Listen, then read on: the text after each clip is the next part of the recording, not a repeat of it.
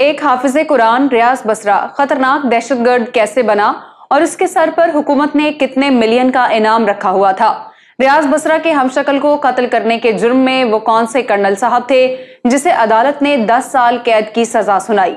नवाज़ शरीफ को बम धमाके से उड़ाने की नाकाम कोशिश करने वाले रियाज बसरा ने कैसे मियाँ बरादरान के नाक में दम किए रखा?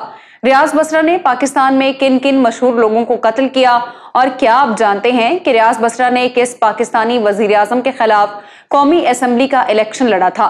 तो जनाब, आज की वीडियो में लश्कर जंगवी की बुनियाद रखने वाले और पाकिस्तान में हज़ारों अहले तशरी के कातिल रियाज बसरा की ज़िंदगी के इब्तदाई अयाम। जवानी, सियासी ज़िंदगी और कत्ल तक सब कुछ आपके गोश गुजार किया जाएगा। आप देख रहे हैं इलेक्शन बॉक्स और मैं हूँ सादिया ज़फ़र। आप मुझे इंस्टाग्राम पर भी फॉलो कर सकते हैं, जिसका लिंक डिस्क्रिप्शन में मिलेगा। रियाज बसरा की पैदाइश पंजाब के जिला सरगोदा के नवाह में उन्नीस में हुई। रियाज बसरा के वालिद अता मोहम्मद बसरा मामूली किसान थे, जबकि उनकी वालिदा जलाल बीबी हाउसवाइफ थी। रियाज बसरा के घर वाले उसे प्यार से लालू कहा करते थे। लाहौर और सरगोदा के दीनी मदारस से हिफ्ज कुरान मुकम्मल करने वाले रियाज बसरा ने 1985 में मौलाना हक नवाज़ झंगवी की सिपाही सहाबा में शमूलियत इख्तियार की। 1988 में हाफिज रियाज बसरा को सिपाही सहाबा का सेक्रेटरी इतलाक बनाया गया और वो लाहौर इच्छा में आकर रहने लगे। रियाज बसरा की माँ ने अपनी एक गुफ्तगु में बताया था कि मेरा बेटा घर से हाफिज कुरान बनने निकला था। लेकिन वो कभी घर लौटा ही नहीं। हमारे घर जब भी आई, पुलिस ही आई, लेकिन मेरा बेटा नहीं आया। रियाज बसरा के बारे में शायद ये बात कोई भी ना जानता हो कि एक जमाने में उसने कौमी असेंबली का इलेक्शन भी लड़ा था। जी हाँ 1990 के जनरल इलेक्शन में लाहौर के हल्का एन ए पचानवे से इस्लामी जमहूरी इतिहाद के सरखेल मियाँ मोहम्मद नवाज़ शरीफ उम्मीदवार थे। रियाज बसरा ने उनके खिलाफ आज़ाद हैसियत से इलेक्शन लड़ा, जिसमें उन्हें सिर्फ़ दो सौ उनतीस वोट मिल सके। सिपाही सहाबा के अंदर उनमा होने वाले इख्तलाफात के नतीजे में उन्नीस सौ छियानवे में रियाज बसरा ने अक्रम लाहौरी और मलिक इसहाक के हमरा अलग जंगजू ग्रुप लश्कर झंगवी कायम कर लिया। लश्कर झंगवी के लोग मुख्तलिफ़ अदवार में पुलिस मुकाबलों में हलाक होते रहे। अक्रम लाहौरी सजाए मौत के मुंतजर हैं, जबकि मती रहमान के बारे में कहा जाता है कि वो अफ़गानिस्तान में रोपोश हैं।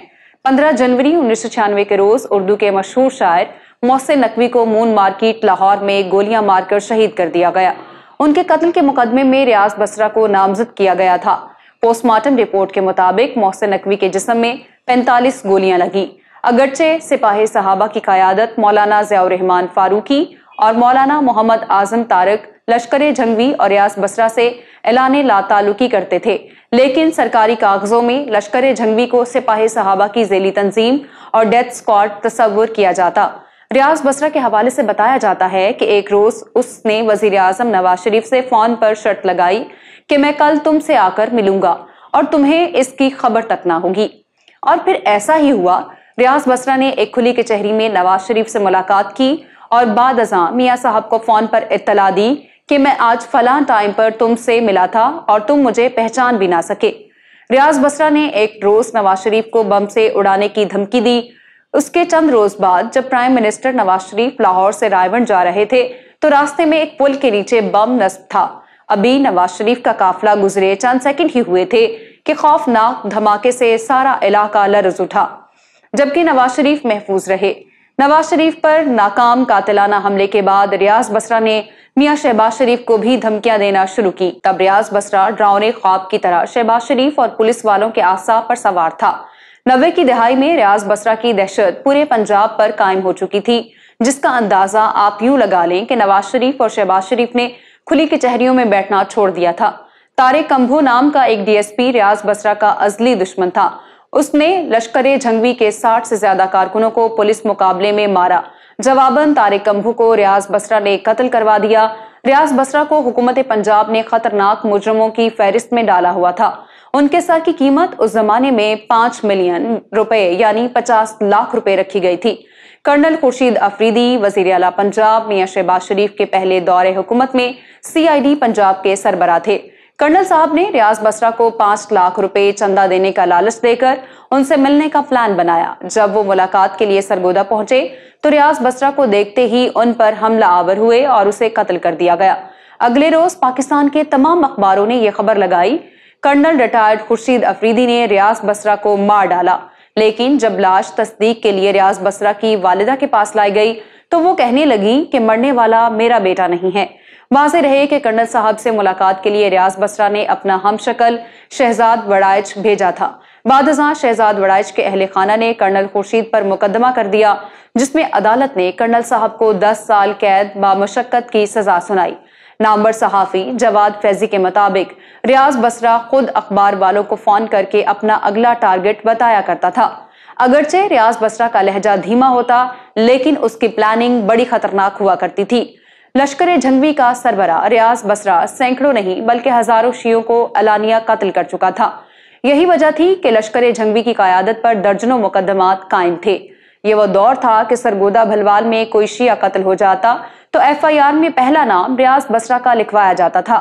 परवेज मुशरफ के मिलिट्री टेक ओवर के बाद लश्कर ए झंगवी दो धड़ों में बट गई। रियाज बसरा का ग्रुप अपनी कार्रवाइयाँ जारी रखने के हक में था, जबकि कारी अब्दुल हई का मौकफ था कि हमें अंडरग्राउंड हो जाना चाहिए। जनवरी 2002 में रियाज बसरा के हुक्म पर अमरीकी सहाफी डैनियल पर्ल को पहले अगवा और फिर कत्ल कर दिया गया। लश्कर झंगवी के सरबरा रियाज बसरा को 14 मई 2002 के रोज बिहाड़ी में फायरिंग के तबादले में उस वक्त मार दिया गया, जब वो बड़े शिया जमींदार को कत्ल करने की नीयत से वहाँ मौजूद था। उस वक्त रियाज बसरा की उम्र पैंतीस बरस थी।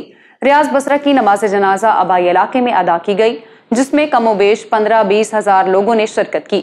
बादजा उन्हें लश्कर झंगवी के परचम में लपेटकर मनो मिट्टी तले दफना दिया गया। रियाज बसरा को पुलिस मुकाबले में कत्ल करने वाले पुलिस ऑफिसर के बारे में बताया जाता है कि उसे बाद में सरकारी खर्च पर बीवी बच्चों के साथ बैरून मुल्क भिजवा दिया गया था, ताकि उनकी जानें महफूज रहें। रियाज बसरा के बाद लश्कर झंगवी की क्यादत मलिक इसहाक के पास आ गई। जरा के मुताबिक मलिक इसहाक का उसामा बिन लादन और एमन अल जहरवी से भी ताल्लुक था। मलिक इसहाक ने अक्टूबर उन्नीस में बयान दिया कि वो 102 शिया और दूसरे लोगों को कत्ल कर चुका है। जवाद फैजी के मुताबिक उनकी रियाज बसरा से पाँच बार मुलाकात हुई। वो एक वाक़ सुनाते हैं कि मुझे एक बार लाहौर मजंग अंडे के एक टी स्टॉल पर रियाज बसरा से मिलना था। मैं ये देखकर हैरान हो गया कि थोड़ी देर बाद वहाँ एक मोटरसाइकिल आकर रुकी। मोटरसाइकिल से एक फटे पुराने कपड़ों में मलबूस एक मजदूर नीचे उतरा। मोटरसाइकिल पर पेंट करने वाले डिब्बे, ब्रश और दीगर सामान रखा हुआ था। वो मजदूर जवाद फैजी से मिला और बताने लगा कि मैं रियाज बसरा हूँ। मैं उम्मीद करती हूँ आज की वीडियो आपको पसंद आई होगी। अगर आप मजहबी जमात, सिपाही सहाबा के बानी, मौलाना हक नवाज़ जंगवी की बायोग्राफी देखना चाहते हैं तो यहाँ ऊपर क्लिक करें। मौलाना मोहम्मद आज़म तारिक के फैक्ट्स के लिए यहाँ नीचे और सिपाही सहाबा के 40 साल पॉलिटिकल रिकॉर्ड आपको यहाँ मिलेगा। इलेक्शन बॉक्स सब्सक्राइब कर लें और हमारी वीडियोस देखते रहिए। अल्लाह हाफिज नासिर।